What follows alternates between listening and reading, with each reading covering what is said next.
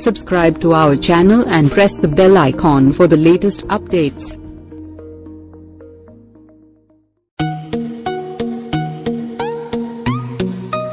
ఆంధ్రప్రదేశ్లో రాజకీయ పరిస్థితులను గమనిస్తూ ఉంటే అప్పుడే ఎన్నికల వాతావరణం నెలకొన్నట్లు కనిపిస్తుంది. ఒకవైపు వైసీపీ అధినేత జగన్మోహన్ రెడ్డి గత మూడు నెలలుగా ప్రజా సంకల్ప యాత్ర పేరుతో పాదయాత్ర చేస్తుండగా మరోవైపు జనసేన అధినేత పవర్ స్టార్ పవన్ కళ్యాణ్ గత తొమ్మిది పది రోజులుగా ప్రజా పోరాట యాత్ర సాగిస్తున్నారు. తాజాగా తెలుగుదేశం పార్టీ మహానాడు పేరుతో మూడు రోజుల పాటు హడావుడి చేసిన విషయం తెలిసిందే. మూడు ప్రధాన రాజకీయ పార్టీలు ఎన్నికల సమరాన్ని ప్రారంభించినట్లు అయ్యింది. అయితే ఈ త్రిముఖ పోరులో విజేతగా నిలిచేది ఎవరు? ఆంధ్రప్రదేశ్ ప్రజలు ఈసారి పట్టం కట్టేది ఎవరికి అనే విశ్లేషణలు కూడా ఇప్పుడే ప్రారంభమయ్యాయి.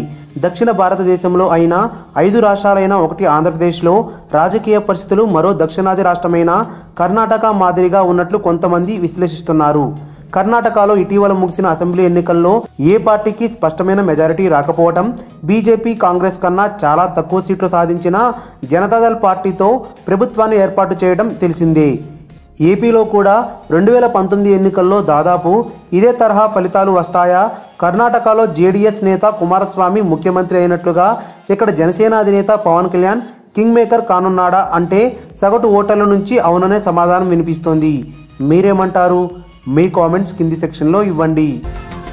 ఈ వీడియో కనుక మీకు నచ్చినట్టయితే లైక్ చేయండి షేర్ చేయండి సబ్స్క్రైబ్ చేసుకోండి.